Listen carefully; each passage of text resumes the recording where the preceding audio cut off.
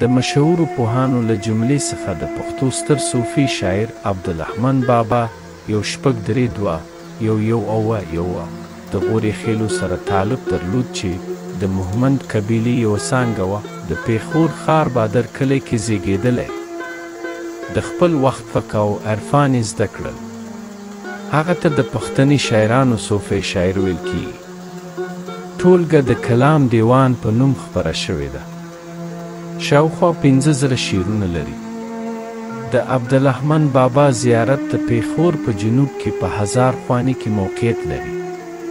د پښتو ژبې ستر صوفي شاعر رحمان بابا په یوه غوره کورنۍ کې زېږېدلی دی.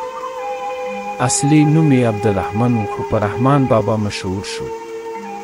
نوموړی د مهمند قبیلې د غوریا خېلو څخه و، د پلار نوم یې ګرامې ابدال ستار و چې د روایت له مخې د دې سیمې یو شتمن خان و چې په بهادر کلی کې اوسېدلو.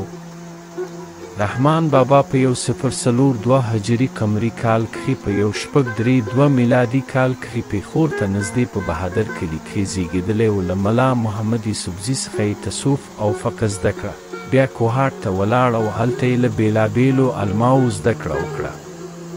له ځوانۍ څخه د پرهېزګارۍ په لور متوجه و او له پیله له دنیا او خلکو سره بې پروا و. عبدالهمن په ځوانۍ کې تصوف او عرفان ته متوجه و. دینی علم یې تر لاسه کو. هغه د اسلامی لارښوونو ستر عالم او پرهیزګاره شخصیت و. همدا لامل دی چی په پښتنو کی ډیر درناوی کاوه او د همدی درناوی له امله د بابا په نوم یادیږی. د عبدالرحمن بابا شعرونه د پښتو په لوړو شعرونو کی شمیرل کیږی. عبدالرحمن بابا د پښتنو د نامتو شاعر و.